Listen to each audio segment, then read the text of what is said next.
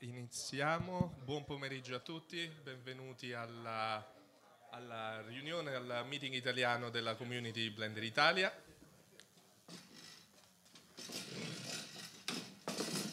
Goodbye, thank you.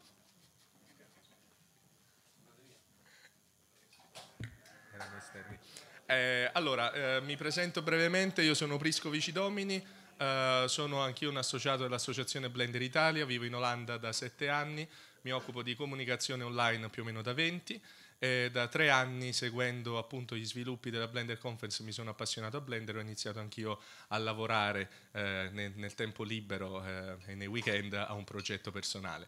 Eh, quest'anno sono diciamo, portavoce per, per, nome del presidente Alessandro perché vivendo qua eh, è più facile per me spostarmi e venire qui. Um, quindi eh, a nome del presidente vi do il benvenuto, vi ringrazio per essere qui. Eh, è bello vedere eh, le eccellenze italiane, consentitemi di dire, che presentano sempre più frequentemente anche durante la, la, conferenza e vedere il vostro lavoro. Io sono personalmente molto uh, contento e orgoglioso di vedere i vostri risultati.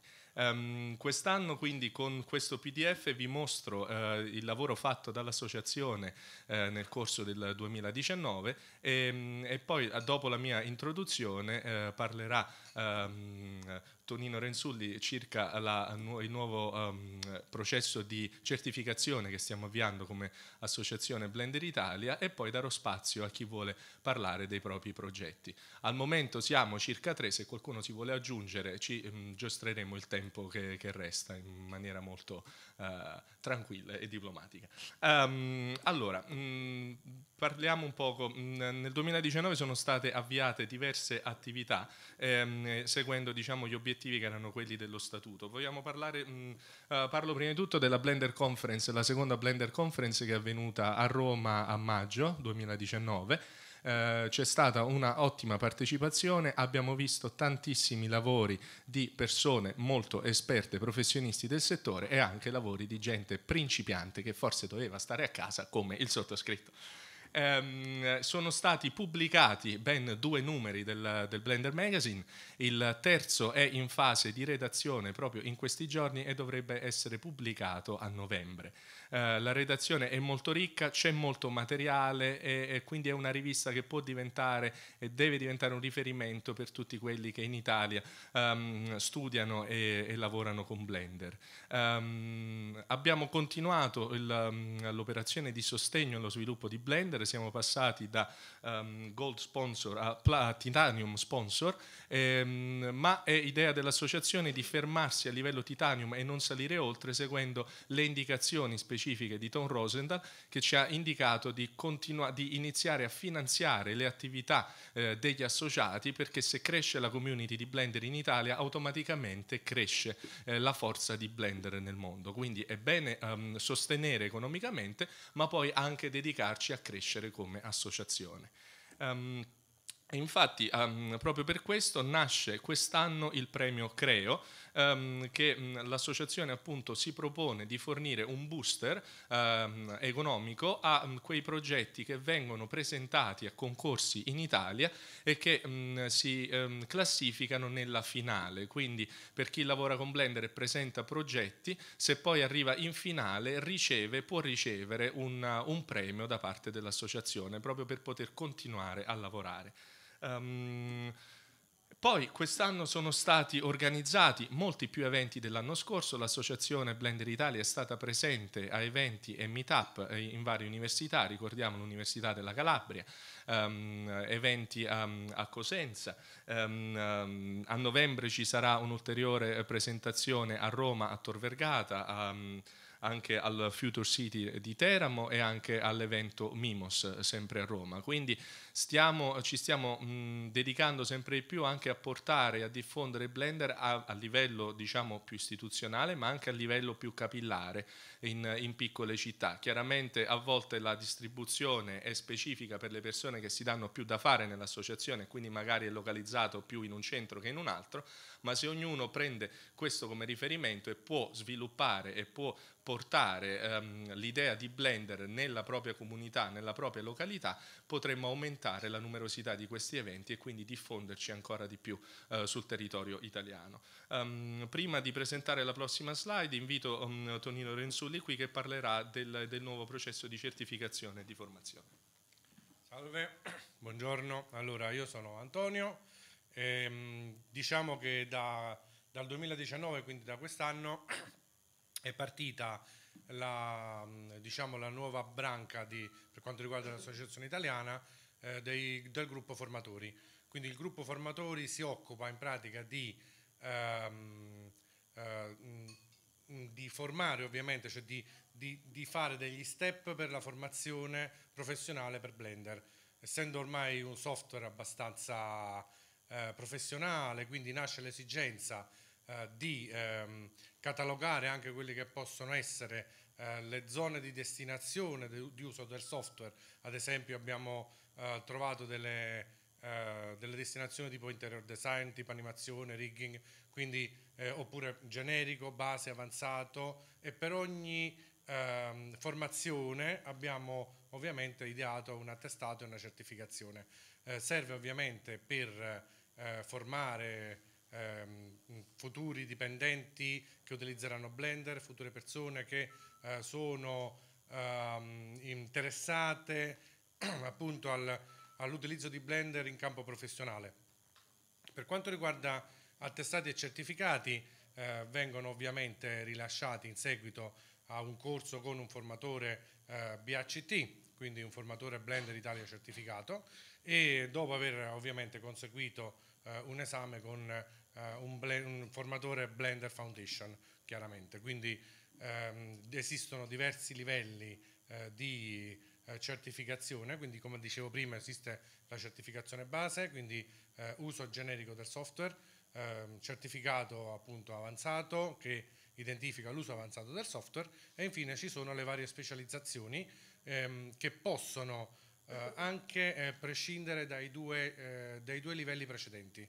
Cioè se io ho bisogno di Blender, ad esempio, solo per la stampa 3D o solo per il design del gioiello, io posso ehm, conseguire una specializzazione di Blender soltanto in quel campo. Quindi eh, magari ci sono persone non, a cui non interessa eh, l'animazione, il rigging oppure non interessa ecco, gli effetti particellari, ma vogliono concentrare la loro attenzione su quello che è l'uso professionale del software, quindi l'uso eh, che loro ne faranno eh, nel loro campo specifico.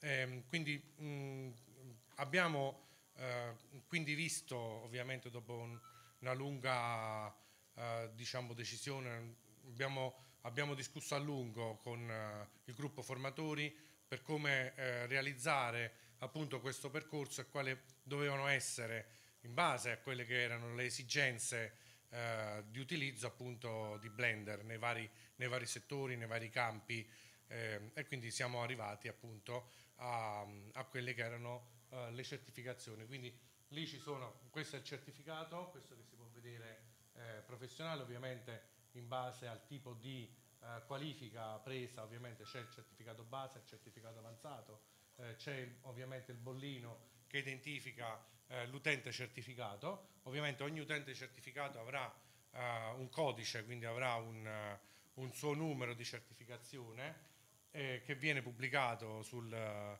comunque sul nostro sito, quindi viene tenuto e poi ci sono i vari livelli. Quindi come dicevo, Advanced Knowledge che identifica l'uso avanzato di Blender, l'expert user è un livello ovviamente di certificazione maggiore e infine c'è lo specialist che potrebbe anche eh, non ehm, mm, diciamo, potrebbe anche non avere le due certificazioni precedenti, perché lo specialist è una persona che usa Blender soltanto per quel settore eh, specifico di cui abbiamo detto prima. Quindi attestato in alto e certificato professionale eh, sono eh, in pratica due, eh, due, livelli differenti di, di, specializzazione del programma.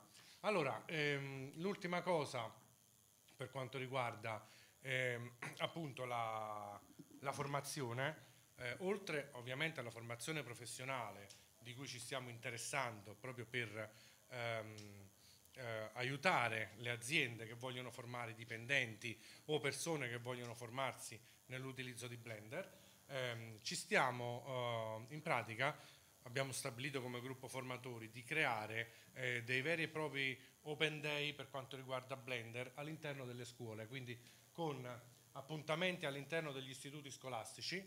Eh, abbiamo iniziato da poco, Alessandro se ne sta occupando appunto anche in questi giorni eh, in alcune scuole, quindi abbiamo un po' ehm, inserito diciamo, eh, questo, ehm, questa sorta di appuntamenti proprio per eh, dar modo ehm, ai ragazzi che frequentano le scuole eh, di eh, capire come funziona un software 3D. Quindi eh, iniziare ovviamente a parlare del 3D, ehm, vedere un po' qual era la storia e indirizzare anche i ragazzi magari che si possono appassionare alla materia e dare un punto di vista eh, di quello che potrebbe essere per loro eh, un, un, lavoro futuro, quindi ehm, potrebbe essere appunto eh, un, un, indirizzo per quello che potrebbe essere una formazione futura. Quindi eh, il tutto ovviamente cerca di di diventare, quindi cerchiamo di coordinare appunto eh, i vari interessi e le varie ehm, eh, esigenze che ci sono di utilizzo del software, perché non tutti hanno le stesse esigenze, quindi eh, alcuni magari hanno esigenze eh, base eh, del software, altri hanno, eh, hanno, esigenze molto più di uso esperto, mentre altri sono molto magari esperti ma specializzati in un campo, quindi eh, esperti ma specializzati in un ruolo di utilizzo di Blender. Magari ecco, eh, spesso utilizzano Blender eh, come anche con aggiunta di add-on specifici per quel settore, ad esempio add-on per la realizzazione di design del gioiello oppure di interior design, oppure eh, implementando anche ehm, elementi diciamo extra rispetto a Blender, magari mh, per arrivare in settori dove Blender come software generico non riesce ad arrivare, mentre con gli add-on ovviamente tutto eh, diventa diverso e più specifico. Eh, non so se vuoi aggiungere qualcosa. Va bene. Allora, grazie Antonio. Grazie Antonio. Uh, avete domande, uh, informazioni che volete? Ok, allora siamo precisamente in orario e quindi io potrei dare a questo punto ampio spazio a chi vuole presentare i propri progetti. Al momento in lista ho uh, sia um, tu con il tissue e anche tu con Giù Dannito. Chi vuole iniziare? Non fate iniziare me, prego, vieni avanti.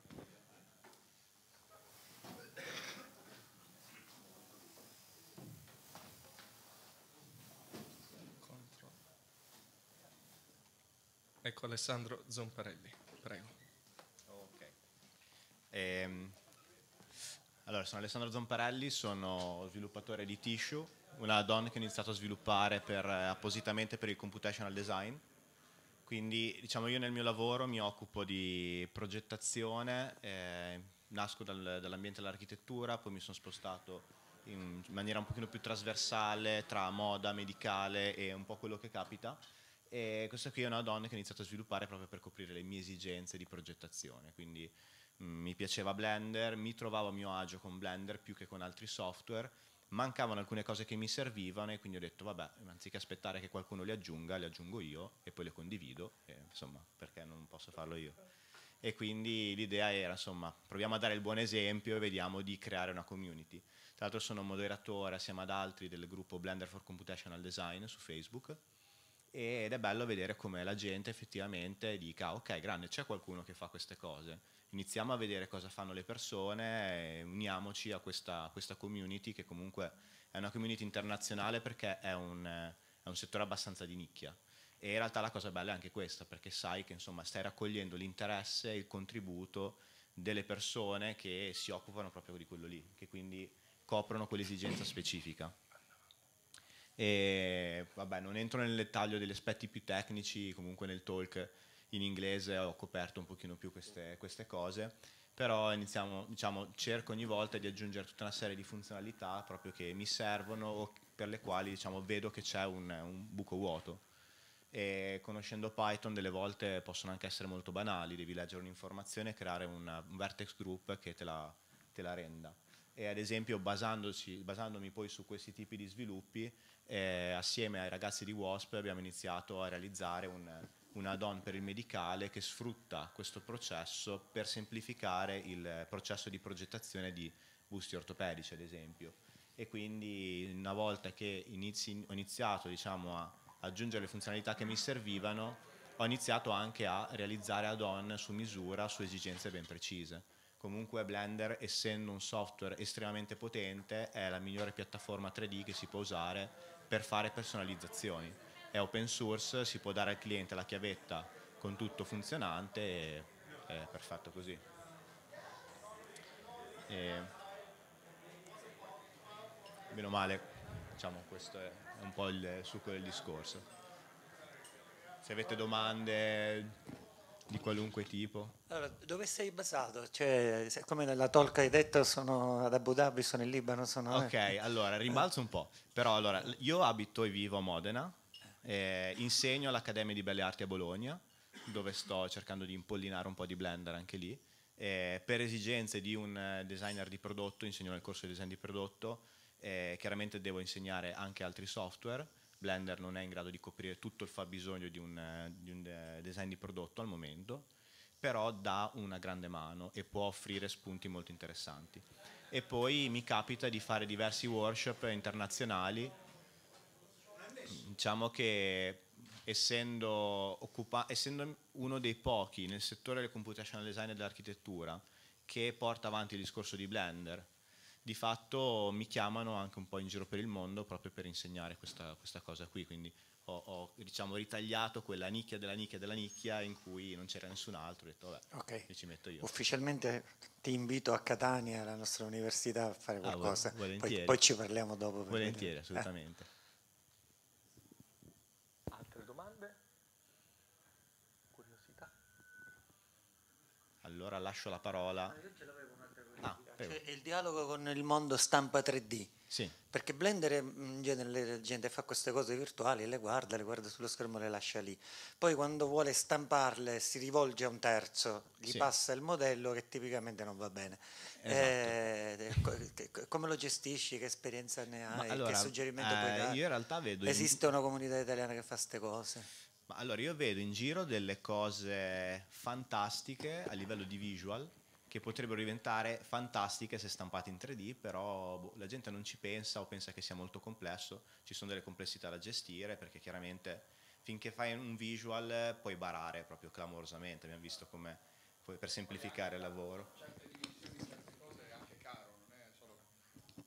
Certe cose sono anche care, sì. Perché sì. se non se vuoi delle risoluzioni, delle cose pesanti, cioè io sì. ho visto statuette alte così eh, a 100 euro, quindi alla fine lo fai una volta, poi smetti un po' di, di Chiaro che sì, non lo fai quella, con troppa leggerezza, però secondo me sta diventando più abbordabile adesso la stampa 3D. E alla fine una volta che uno sa un po' come modellare in maniera corretta, eh, si va a creare delle superfici che siano continue, chiuse, insomma, eh, rispettino tutti quanti i crismi del caso, dopo gli oggetti sono facilmente stampabili. La complessità dopo è iniziare a capire come funzionano le diverse tecnologie di stampa. Quindi al di là del discorso di andare a lavorare proprio sul percorso di stampa e fare delle cose più avanzate, però capire che ad esempio la stampa a filamento usa la gravità in un qualche modo, è un elemento, un parametro e quindi lavorare sulla verticalità dà un gran vantaggio in fase di stampa altre tecnologie lasciano la piena libertà bisogna semplicemente tenere d'occhio gli spessori. E, però sì, secondo me non è una cosa così tanto complessa se uno è in grado di gestire bene la modellazione, che non c'è un po' di quelle cose lasciate al caso così, e sa come, come ripulire il tutto, in realtà è abbastanza abbordabile, quindi penso ci siano diverse persone in Italia che siano in grado di, di gestire questi aspetti.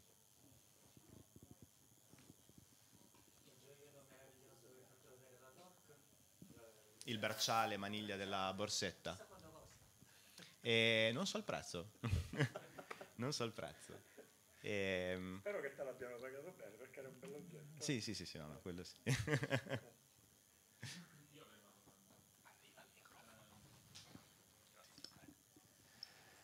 parte, vabbè, meraviglioso. Tutto quanto. Eh, Tissue si basa sostanzialmente sull'utilizzo della geometria, cioè della, della, della mesh, della skin della mesh. Sì. La mia domanda è, perché sono ignorante in termini di programmazione, c'è la possibilità di utilizzarlo anche nel volume? Eh, questa è una feature che sto pensando di inserire.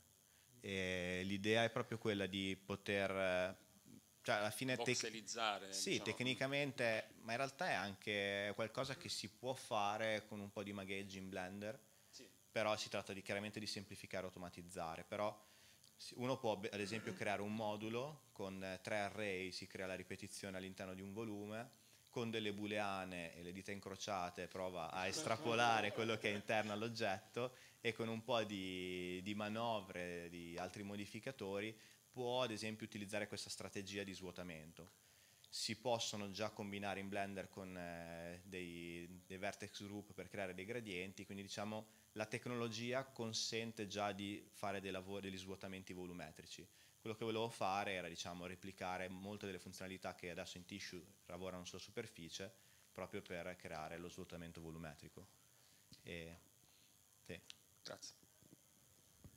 Altre domande? Vedi che primo che inizia poi porta... Nessuno? Va bene. Allora, grazie. grazie. Allora, grazie. Applauso, applauso, applauso, applauso, applauso, applauso. E adesso è il momento di, di Arturo il Gabbiano nella persona di Luca Di Cecca. Okay.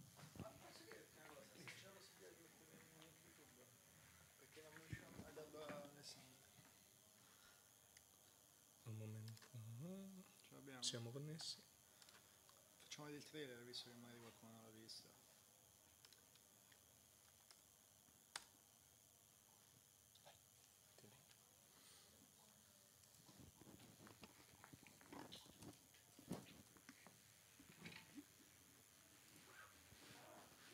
Ah, partiamo da questo. C'è l'audio, vero? No. Uh, buona domanda.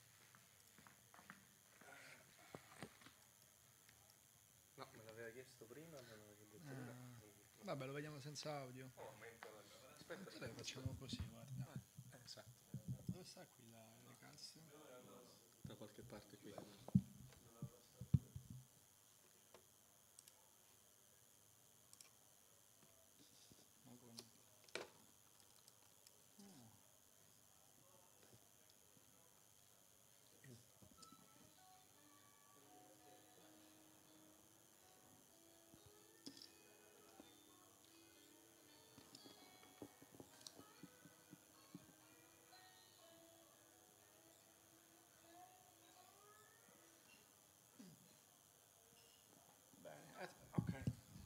Piccolo trailer che avevo messo online, non mi ricordo nemmeno quanto, ah, a giugno. Ah, ok. E niente, Azione Gabbiano è il tentativo, l'idea di poter riuscire a, a realizzare un cartone animato interamente in Blender cercando di puntare un po' su una qualità un po' più, più alta rispetto alle cose che comunque eh, diciamo, è, è, un prodotto che in realtà dovrebbe essere fatto da una produzione, quindi in realtà ho cercato di impostare questo prodotto eh, in maniera anche un po' troppo in là di quelle che poi sono, erano le mie possibilità. Ma in realtà ce l'ho fatta. Astro Gabbiano è una semplice storia tra un, uh, un anziano, Arturo, e, e, il Gabbiano. La storia si basa su quattro gag. La cosa interessante è che l'anno scorso, ad Alessandro, che lo ringrazio mi ha mandato qualche giorno fa il link della presentazione dell'anno scorso dove facevo vedere qui, anzi al debailer, tre slide dove praticamente c'erano l'idea dove stava iniziando e tante cose sono cambiate nel frattempo, il gruppo di lavoro si è allargato a montatori, animatori, sound design eh, e tante altre figure, ma insomma sostanzialmente sono contento di essere arrivato alla fine di questo progetto. Il trailer è ovviamente quello che posso in realtà mettere online perché c'è anche una distribuzione del corto che lo distribuirà nei, nei festival, ovviamente è tutto realizzato con Blender, questa è, un'inquadratura del di una delle scenografie e la, la, la, grande difficoltà di questo corto è stata appunto la gestione di, di tanta geometria nelle tante, nelle tante, scene. È un corto che dura 5 minuti e è sostanzialmente stato realizzato in remoto. Uh, questa era una delle tante call che ogni sera abbiamo fatto nell'ultimo anno tra me, Umberto che è il ragazzo che è un po' Disperato, che è il supervisore dell'animazione, e Nicolas, che invito qui a parlare di Arturo e della sua esperienza. Anche perché io ho, fa- ho fatto tanto, però insomma non, è, non, non, potevo fare tutto, tranne chi poi alla fine ci ha lavorato e forse anche di più di me. Cioè in realtà. Ciao a tutti, io sono Nicolas. Eh, praticamente io entro a far parte del gruppo a gennaio di quest'anno, e soprattutto come animatore. E, mh, abbiamo fatto tantissime sessioni su SceneSketch eh, con Umberto che è appunto disperato perché non, vabbè, alcune pose non riuscivamo a trovarle nel modo giusto, così. Eh, però stato, posso dire che è stato un ottimo supervisore dell'animazione, ho imparato tantissimo, ho imparato anche tantissimo a lavorare con un professionista come Luca, dove io arrivo con determinate conoscenze e mi trovo a lavorare con una persona che ne sa molto di più su, su tanti aspetti, quindi non ho imparato solo animazione, ma ho imparato anche eh, come gestire progetti mm, cioè, importanti di un certo livello. Diciamo. E, um, I rig non li ho fatti io, li ha fatti lui, ha usato sia Rigify che Plan Rig. E, no, come dicevo prima, principalmente mi sono occupato di animazione. E, e Arturo. Sì, è vero, in realtà poi parliamo poco di, di Arturo, dove ci sarà anche domani il, il, talk nel theater e questi qui sono due personaggi principali, Arturo e il Gabbiano e penso che tante cose ho postato su Blender Italia nel corso de, dell'anno. E l'altro progetto invece di, di, cui abbiamo parlato anche ieri è Giù dal Nido, dove magari Nicola, so dire qualcosa tu? Sì. Una cosa su Arturo, hai fatto un uh, No, no, è Sagol, è Sagol.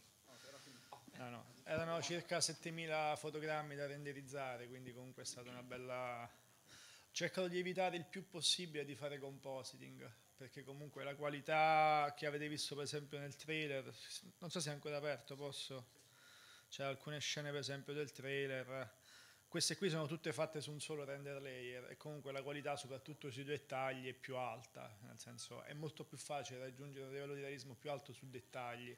Su scene molto più larghe, cioè dove comunque c'hai tante case, tanta scenografia, personaggi e tant'altro, sono dovuto andare di, di rendere layer e compositing e là la qualità un po' si abbassa, anche perché ovviamente bisogna, bisogna, avere anche tante skill di compositing per far uscire bene il prodotto. Quindi in realtà la mia idea era quella di fare tutto assieme, ma in realtà ti scontri anche con la, con la realtà che comunque un prodotto del genere è comunque difficile da gestire soprattutto in termini di quantità di memoria e poi principalmente lavorando con un piccolo computer è difficile proprio approcciare. Però in fin dei conti è stata comunque una, una bella esperienza, cioè comunque arrivo comunque ed esco fuori con un prodotto e comunque firmo come regia e produzione, insomma la possibilità anche di, di portarlo qui ad Amsterdam, aver trovato un distributore che lo, che lo presenterà nei festival di tutta Italia, quindi insomma molto bene. Invece il Journal Nido l'avete, spero avete visto qualcosa ieri alla, al talk e control ok e Nicolas dici qualcosa tu sì. del progetto allora, il fatto di, di, aver conosciuto Luca e iniziare iniziato a lavorare con lui mi ha permesso di conoscere anche le persone che lavorano a Light and Color e um, a un certo punto nasce la necessità di rifare i modelli da capo e anche i rig. Io ho commesso l'errore di dire che a me piaceva fare il rake, non solo mi faceva, mi faceva fare il rake e mi sono trovato in quella situazione in cui non sono io a fare il passo avanti ma tutti gli altri avevano fatto il passo indietro. Sì. e mi sono guardato e ho detto va bene faccio il rig zero esatto. E, ehm, ed è stato veramente difficile perché man mano eh, aggiungevo delle cose ai rig anche il modello cambiava doveva sempre, diventare sempre più curva l'ala, per esempio, l'ala o la parte dietro quando scendi a mangiare deve rimanere sempre una curva quindi ho dovuto lottare un pochino con lo skinning e il rigging e poi mi avevano chiesto delle figge, delle cose tipo quando chiude l'occhio deve apparire una riga, deve vedersi solo quando le palpebre si toccano, in determinate posizioni deve raggiungere quella, quella, forma e quindi è stato parecchio difficile. E pensate per esempio al semplice sistema IKFK quando l'uccellino eh, decolla, le, le, zampe devono comunque seguirlo, ma tu devi avere lo stesso la possibilità di fare un overlap, per esempio, o un atterraggio e continuare a spostare FK e K qua diventa complicato, no? E quindi ho dovuto aggiungere il segui il corpo, l'isola rotation e tutte queste cose qua. Però vabbè, ce l'abbiamo fatta, sono stati circa tre, tre, quasi tre mesi di rigging con tutti i personaggi. E, ehm, e adesso sono uno, de, uno, dei cinque animatori del progetto e siamo più o meno a metà progetto, no? siamo sì sesta, settima puntata su 13. Sì, esatto. chiudere il progetto. E non so se è l'ultima slide, sì, questo è un frame del uh, finale del progetto, ovviamente è un prodotto per bambini piccoli, per la RAI, RAI Kids, no, RAI Yo-Yo, scusate, e, e questo. E poi niente, semplicemente che siccome ha portato bene presentare il, uh, Arturo l'anno scorso qui, magari diciamo che comunque inizieremo un nuovo progetto su un giocoliere, però niente di più. È nata l'idea in questi giorni e speriamo di portarlo l'anno prossimo finito. Tutto qui. Basta. Avete domande sul prodotto, sul progetto? Ah, stavo pensando comunque già dall'inizio è molto più difficile fare il rig per, uh, per uh, il cartoon, appunto per le deformazioni e le cose, che per il gabbiano. Quindi poi dopo passare al gabbiano, il gabbiano l'avete iniziato prima? Prima. No, eh. I rig li ho fatti io, diciamo, del, di questo, di Arturo. Okay. E, però per Arturo ho usato Blend Rig molto, sem- cioè molto semplice, insomma, eh, come dire. Eh. Sì, non avevi le esigenze di cartoon magari che, che c'erano? Sì, ma diciamo che il Brad si adatta abbastanza bene, cioè è molto versatile su quello. In realtà poi l'animazione in sé, il tipo di montaggio che ho scelto per il corto è, ha molto poco acting, è, molto, è, un, è un lavoro molto di montaggio in realtà. Quindi in realtà quando ho iniziato il corto avevo impostato il cortometraggio sulle mie, sulle mie, possibilità, nel senso io non sono un, un, animatore professionista, io sono comunque una persona che girovaga attorno a tutto quello che c'è nel mondo 2D, lavoro nel campo diciamo, dell'audiovisivo, provo a fare un mio prodotto, alzando un po' la qualità diciamo, della, della, resa, però so, so, sono ben cosciente che comunque non sono un, mentor, cioè non sono un... poi pian piano in realtà poi è un po' cambiata la, la, la questione, partendo da uno storyboard molto serrato su azione, stacco, azione, stacco, azione, stacco, piano piano il progetto si è evoluto, conoscevo Nicolas che comunque studia animazione e ha dato un suo contributo e, e niente, tutto qui. Aggiungo solo una cosa, in realtà sia Blender che Rigify sono estremamente complessi e hai una possibilità enorme di fare cose, anche cartoon. Eh, quindi in un certo senso sono rig molto più complessi e avanzati di quelli che ho fatto io per la produzione. Il discorso è per esempio il Rigify de, degli uccelli del gabbiano non ha il fruit roll per esempio, no? e, e, non ha il follow body, tutte queste cose qua. Si possono aggiungere tranquillamente, ma c'è una complessità dietro un Rigify che magari rischi di perderci le ore a studiare, per esempio ha, ha due sistemi di, di deforming bone, no? io ne ho messo solo uno, eccetera, che ci stanno per quella complessità lì, ma per quello che dovevamo fare per giù dal nido non serviva a quella complessità e per come sono fatto io ci ho messo meno a rifarli da zero con le specifiche chiare dell'animatore che a dover andare a studiarmi la documentazione del Rigify che magari ci perdevo tre settimane a, tra script Python e, e deforming bone tutto qua diciamo. Sì sì, anche perché poi questo progetto Arturo sostanzialmente non prevede chissà quante tipi di deformazioni e animazioni. Giù dal nido invece è un po' più particolare, no? Cioè c'è poi la richiesta dell'art director di arrivare ad alcune pose più allungate, è più cartoon quello in realtà che questo. Cioè questo comunque si mantiene una certa stabilità visiva, cioè non, non andiamo a deformare troppo. Più, sì, un po' più realismo, diciamo. c'è una certa astrazione nelle, nelle forme verso un, un, cartoon, ma poi comunque nel complesso i movimenti e il look tende comunque al realismo, anche se poi non è realissimo, però insomma. Questa. Però la parte più divertente è stato tutto il, il viaggio nel fare tutto il, il cortometraggio e, e, le tante serate con le, notte, le nottate con, con, Nicolas e Umberto a finire il, il, progetto. Insomma, una cosa bella in realtà fare, a parte il lavoro, no? cioè, nel senso comunque portare avanti dei progetti personali e poi magari anche non, non trovarne il, la, un significato, cioè nel senso che comunque una motivazione c'è a portare avanti dei, dei, dei, dei lavori che sembrano folli. Però poi certe volte magari ti chiedi anche perché lo fai eh, per il piacere. Insomma, per il piacere. Secondo me se, se uno si, ha il piacere e si diverte, poi alla fine riesce a fare comunque cose carine. Va bene.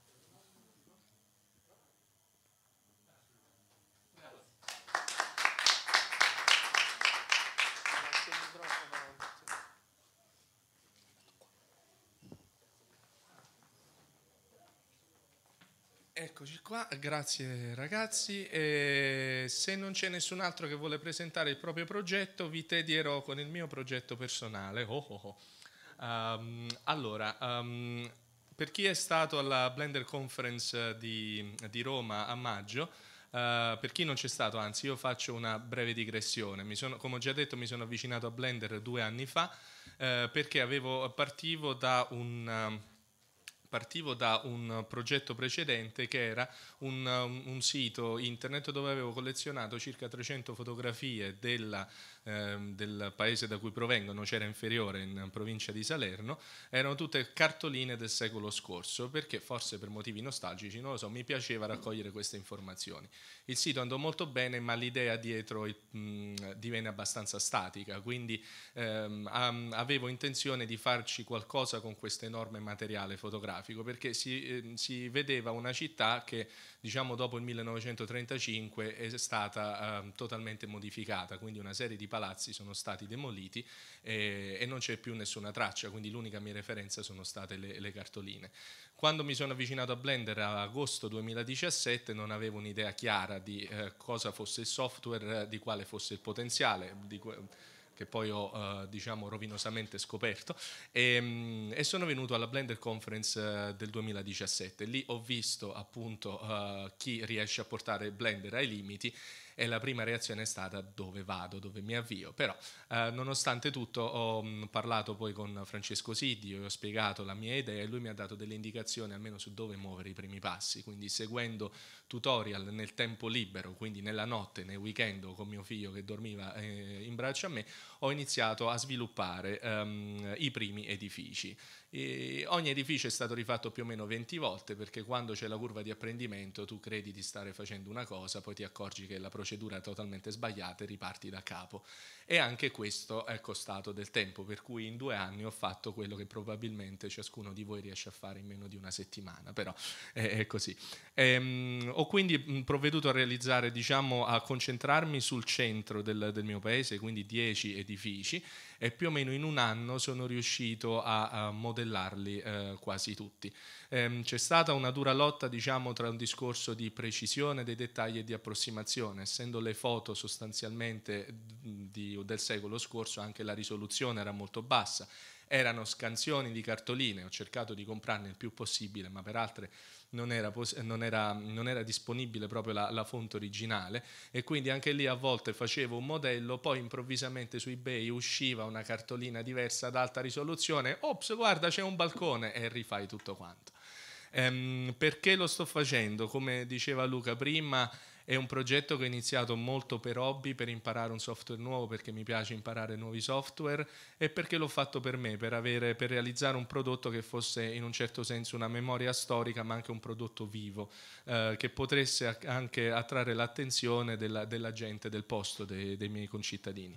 Um, quindi ho avviato la prima progettazione nel 2017 e sono riuscito diciamo, a ricreare, chiaramente con errori di proporzione, eh, gli edifici. Eh, questi due che vedete, il caffè romano e questo con le colonne, non esistono più. E, ehm, partendo proprio da questa precisa cartolina um, ho ricostruito diciamo, gli edifici. Ho usato delle texture molto grossolane, ho usato um, sostanzialmente un effetto noise per creare un po' l'effetto di stucco, ma era più per arrivare alla presentazione di maggio 2019. E devo dire che un grande stimolo per andare avanti in questi casi, quando fai un progetto che per hobby non sai dove va e non sai quanto tempo hai a disposizione e quanta voglia, è essere diciamo, invitato o andare andare alle conferenze e, e presentare il progetto ti porta ad avere una scadenza mentale e dire ok, a maggio c'è, c'è, la presentazione, adesso ho sei mesi di tempo e poi scopri un mese prima che ancora non hai iniziato e quindi è andato così. Ma quando ho presentato a maggio, eh, diciamo questo è un estratto della presentazione, quindi il, um, il percorso completo, che sono più o meno 50 metri, um, ho presentato poi una settimana dopo lo stesso progetto nella mia città, nella biblioteca comunale, un grande successo, gente in piedi, gente appesa alle pareti. Eh, mi hanno intervistato le varie eh, riviste locali e sono anche finito in televisione, quindi partendo da un'idea, diciamo, um, quasi un, un, progetto, un sogno mentale, eh, ero riuscito ad arrivare dopo un anno più o meno a questo risultato. Ma dopo questa presentazione, mh, anche qui, avendo fatto i dieci edifici, Eh, qui ehm, ci sono vari sviluppi, eventualmente si possono importare gli edifici in un modello di realtà virtuale per consentire anche dei percorsi a scopo culturale per musei, eccetera. Ci sono varie ehm, collocazioni di, questo, di, di questa idea, eh, ma quella che secondo me eh, poteva attrarre e può attrarre l'attenzione del pubblico generale, non dei tecnici, è proprio fare un corto di animazione, un cortometraggio, un filmato. Quindi il, l'epoca storica che ho scelto è il 1934, quindi in pieno fascismo. Perché? Perché sono, um, nel 1934 e più o meno sono certo della presenza di questi edifici e di questo assetto uh, urbanistico, ma da lì a due anni sarebbe cambiato tutto quanto. Quindi questa faccia della città poi non sarebbe più esistita. E allora, mh, dal, dopo uh, diciamo, la conferenza, tra virgolette, a Nocera, ho... Mh, gente è venuta a bordo per aiutarmi, quindi mh, eh, qualche amico scrittore ha iniziato a stendere una, una, serie di discorsi che possono avvenire tra i protagonisti. Abbiamo iniziato a fare una ricerca storica per non, non arrivare a dire banalità o a fare errori eh, temporali e mh, dal punto di vista del progetto in sé, ehm, sulla modellazione è venuto ad aiutarmi anche Nicolas D'Amore che è rimasto piacevolmente sorpreso dal progetto e quindi insieme a lui, ehm, nel momento in cui ho iniziato a lavorare con lui, è come quando chi improvvisamente si trova davanti a una montagna capisci la differenza abissale della tua competenza, mentre prima dicevi, eh, tutto sommato dopo un anno me la sto cavando, poi scopri lui ti fa quelle due o tre referenze che cadono nel tuo vuoto di ignoranza e dici oddio ok. Ehm, però ci siamo rimessi in moto la mia idea era appunto di levare tutte queste texture che sono state fatte nella fretta rimodellare la strada riaggiungere dettagli che sono arrivati da altre cartoline e procedere diciamo per l'anno prossimo ad avviare un crowdfunding per riuscire a ottenere i fondi per realizzare un prodotto che possa avere un product value eh, sostenibile, quindi magari riuscire a, a, concludere il tutto in due o tre mesi e poter poi lanciare il, il, corto di animazione. Però questo è ancora, come sempre, tutto nella mia testa, vedremo l'anno pro, eh, nel 2020 come andrà. Questa è una versione, diciamo, aggiornata del prodotto. L'edificio del comune che vedete sulla destra è stato già eh, modificato dalle sapienti mani di Nicolas e si vede.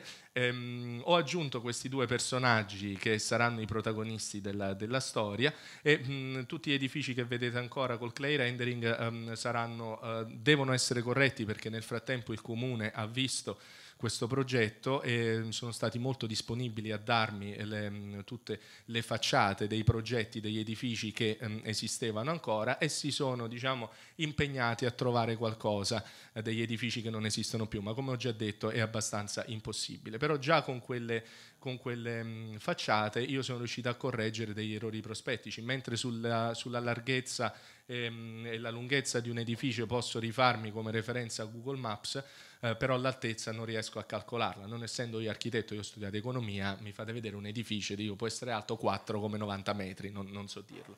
Però ecco, adesso sto procedendo a correggere gli errori strutturali degli edifici mentre Nicola si è impegnato nella fase di texturing e poi ci mm, occuperemo dell'animazione, nel frattempo le luci sono state messe, ho creato una serie già di, di camere per, per, capire più o meno a quali parti degli edifici ci dobbiamo dedicare e questo è quanto um, siamo riusciti a fare da maggio a, ad oggi.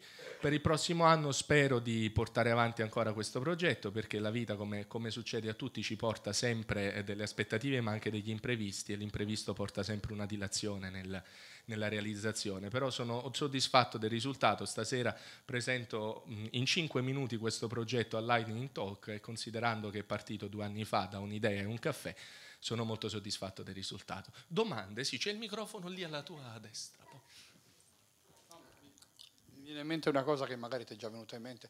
E visto che il comune sicuramente non ha tutte le, le informazioni, eh, perché non chiedere alla gente, agli abitanti, foto di famiglia, renderli partecipi di questa cosa culturale? Magari esce fuori roba che non, non, pensi che esista? Buona domanda, questa, stata, questa, fase è stata iniziata prima del progetto di Blender. Nella raccolta fotografica ho battuto un po' a tappeto tutta la città, fotografie ce n'erano effettivamente poche, localizzate in vari bar, però ecco, se mentre le foto avevano una distribuzione localizzata negli anni 70, le cartoline, delle 300 cartoline, il 70% erano degli anni 30. Quindi per quello anche, si è anche esaurito lo scopo del sito, perché io avrei voluto fare nell'arco dei 100 anni, ma la disponibilità fotografica era dei primi 50, quindi, però quel percorso è stato fatto, sto cercando, in fondo adesso non, non si vede, però c'è anche una chiesa, sto cercando tramite la, la parrocchia di vedere se loro hanno ancora eventualmente ehm, le mappe, però eh, questo è abbastanza raro. Forse qualcuno mi dice vai all'archivio di Stato a Roma, però devo devo capire se, se, se, porta un risultato o no, perché da, da, profano non saprei nemmeno dove andare, arrivo all'ingresso e poi mi fermano lì e non mi fanno andare. Altre domande? No? E allora ragazzi, con sette minuti di anticipo potrei considerare la riunione chiusa, grazie per aver partecipato, significa molto perché siamo italiani e veniamo in Olanda a promuovere noi stessi ma anche a sentire quello che c'è di nuovo per trarre ispirazione al nostro lavoro. Continuate a seguire le attività dell'associazione per il futuro, se avete idee, progetti, eh, fa, parlatene con la comunità perché si ha sempre un feedback positivo nel breve o nel lungo periodo, quindi magari un'idea che oggi sembra di difficile realizzazione come poteva essere mia, la mia, con un paio di indicazioni da parte dei più esperti, se non altro sono riuscito a evitare due o tre mesi di, di tentativi errati, quindi questo è molto importante, prego. Una domanda, nella comunità è possibile trovare persone che si occupano di programmazione in Python, che si occupano di eh, sviluppare per Blender o solamente progetti di, già di uso del programma? La comunità è abbastanza diffusa capillarmente sulla, sulla penisola e ci sono esperienze varie. Um, c'è una scarsità di animatori, come dice anche Ton, però credo ci sia anche qualcuno con un forte background in Python. Eh, quindi basta semplicemente chiedere, spiegare più o meno a che punto vuole arrivare il progetto, sicuramente qualcuno in grado di indirizzarti o comunque di dire sì ho queste competenze, secondo me si può, si può trovare. E qui, beh, qui non c'è più quasi nessuno. No, ci siamo. Cioè, ci sei tu che tu ti occupi di... Uh, domanda è una domanda operativa. Eh, sì. L'anno scorso appunto abbiamo fatto la conferenza a Roma a maggio. Eh, I progetti per il 2020? Progetti per il 2020 sulla località ancora località non è stato... data, periodo? Beh, spero maggio perché nessuno vuole andare in qualsiasi posto con la pioggia per quanto a maggio diluviava a Roma, però sulla località ancora non ho, non ho elementi da, da condividere, non è, non è stato ancora confermato. Io invito tutti a esserci perché è stata una bellissima esperienza, cioè si è ricreato un senso di grande comunità, di scambio, è stato veramente... A parte la, la location era fantastica. Sì, sì. Quindi... No, è importante vedersi viso a viso perché solo su internet c'è una, c'è una conoscenza molto parziale della persona, poi dopo si, si ha modo anche in una chiacchiera semplice e informale di capire il background e la profondità di conoscenza di una persona, quindi a questo servono le conferenze come oggi. Altre domande no? Mm, e allora grazie a tutti e ci vediamo l'anno prossimo qui alla Blender Conference 2020. Oppure ci vediamo chiaramente prima a Roma, ma quello è l'appuntamento italiano e questo è l'appuntamento olandese. Grazie a tutti e a presto.